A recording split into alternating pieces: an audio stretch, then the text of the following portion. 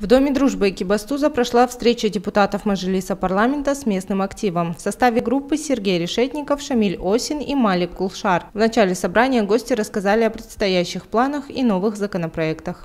Подписаны законы Республики Казахстан о внесении изменений и дополнений в Конституционный закон Республики Казахстан о выборах в Республике Казахстан и о внесении изменений и дополнений в некоторые законодательные акты Республики Казахстан по вопросам выборов. Но если как коротко, а, что э, эти законы собой представляют, да? Основной задачей этих законов является укрепление системы местного самоуправления. То есть получается выборность акимов. Раньше акимы назначались, сейчас они будут выбираться. То есть выбираться будут из числа граждан, которые проживают в этом регионе, которые хотят улучшить жизнь а, граждан, которые проживают в этом населенном пункте, путем того, что он знает, во все проблемы знает местные, да, он, возможно, пользуется авторитетом и э, эта возможность дает улучшить работу, потому что бывает э, представитель Акимата назначается из другого региона, как бы приезжает, он не знает местный менталитет, не знает местные проблемы. И для того, чтобы все это понять, необходимо время. А сами знаете, время это ресурсы, это деньги, это вовремя поданные расчеты, это запланированные бюджетные средства. И в этой связи многие процессы у нас тормозились. Сейчас в рамках этого э, новшества мы будем надеяться, что процесс в отношении улучшения и качества жизни наших граждан, он будет максимально ускорен. Свои вопросы касательно этой информации и любых других тем городской важности присутствующие смогли задать мажилисменам напрямую. Как оказалось, наиболее остро сейчас стоит вопрос декарбонизации экономики в Казахстане. Многие наши э, чиновники, люди, занимающие определенно, э, э, как говорится, важные посты, вот. СМИ часто говорят о том, что мы значит, через э, несколько лет, в частности до 50 -го года, мы полностью уходим от угля.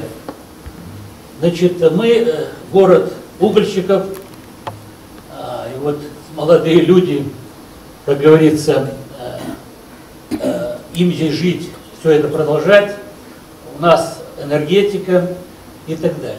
Вопрос, муссируется ли бумаг где-то на официальном уровне.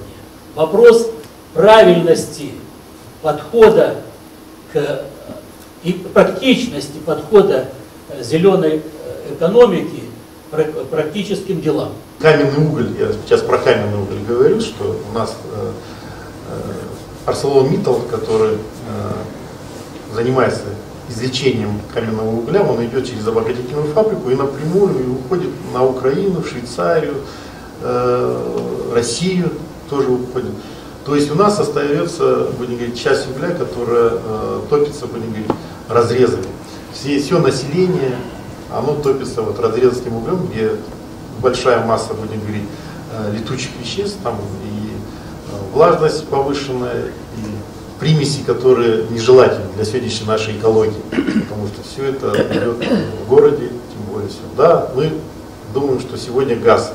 Газ сегодня провели, подвели в Караганде из полторы тысячи не подсоединенных, а, э, будем говорить, а, проведенных газоснабжения подключены только всего даже 10% нет. Потому что сегодня идет все вопрос по Э, денежном эквиваленте.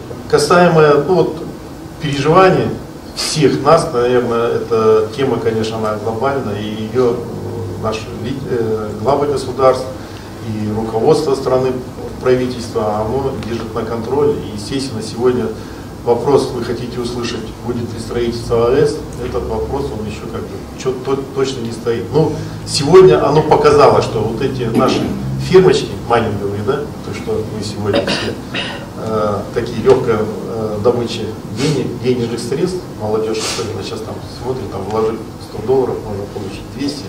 Это все результат того, что э, ну, как бы математически оно вроде бы прогрессия есть, но в то же время, чтобы фирма это заработала, нужно дешевая электроэнергия. Казахстан, да, она стоит на дешевой электроэнергии, э, которая вырабатывается и которая предоставляется физическим лицам, юридическим, конечно, госучреждения, они самые такие, у них все то, что делается для жителей, все на себя берет государственная структура. Это школа, образование, социальные объекты.